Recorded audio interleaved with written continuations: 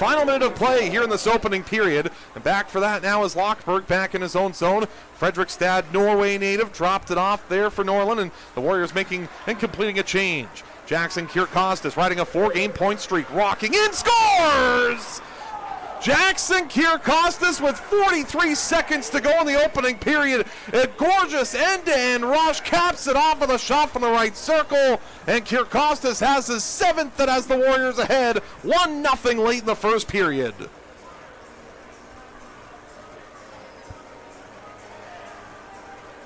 What a rush up ice that was by Kyrkostas. And boy, he's got great speed. He showed it off there and a terrific shot to give the Warriors a 1 0 lead. Yeah, Jackson's one of those creative players. And when you give him time and space like that, he's just going to make you pay with this. On to it now are the Spruce Kings, but a good job by Hughes to forecheck and try to take that puck away. It's loose on the right side now where Hughes will gather it again. To the middle it goes. Here's Hilditch, spun a pass left circle. Pridham, back door. Hughes. What a stop. The rebound comes free. And Ouellette was able to keep that one out. What a pass by Jack Pridham from the corner as he spots Cal Hughes down the right side. Hughes with a shot and Ouellette stretching out makes a tremendous save. And five minutes gone here in the second period. One remains the score. What a great save that was by Marcus Ouellette and a great chance for the Warriors to try and get up by two. Yeah, that was an incredible save, but I love the puck movement there and just a great find there by Freedom backdoor. And you know it's going to come if you keep playing like this. That one just found a way to squeak through all the traffic and all of Justin Katz and just get past him on his blocker's side. So Ballantyne looks like he'll be the one that gets the marker, his second goal of the season. And Prince George has tied it up on the power play and have got this game to even terms. It's one to one back into the Spruce Kings now. Cournoyer to the side of the net. And Katz there to make the save and hang on with 2.24 to go here in the second frame. And I think also McGregor Bennett right off the draw, they score.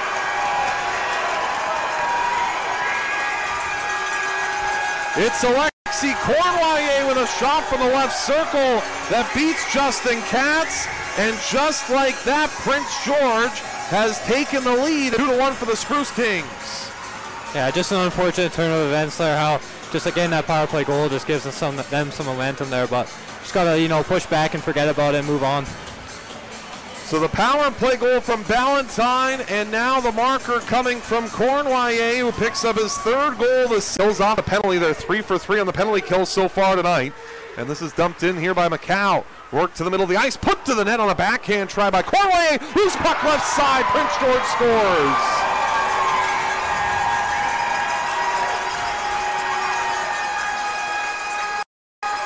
That puck came to the left wing, and it was Lyndon Macau in the left circle who fires it home. Past it down and out, Justin Katz. Macau gets the mark third of the season, and the Spruce Kings on their first shot of the period find the back of the net and lead the game 3 to 1. Cournoyer brought that puck in. I'm not really sure how it, it might have worked off a body and came right to the left side. And I mean, Cournoyer just tried to get that puck to the net, and then it was Langdon who found the loose puck in the right circle. 15 seconds to go in the third period. Hogue up with it. Along the right side for Norlin. Out at center, a bouncing puck. The Warriors making a change. Seven seconds to go in the third. Ausmus back in down the right side. He was run into as the puck comes back out at center, and that will sound the buzzer. This one's over. Prince George with three unanswered goals after giving up the first one. They win this hockey game 3 1 the final score.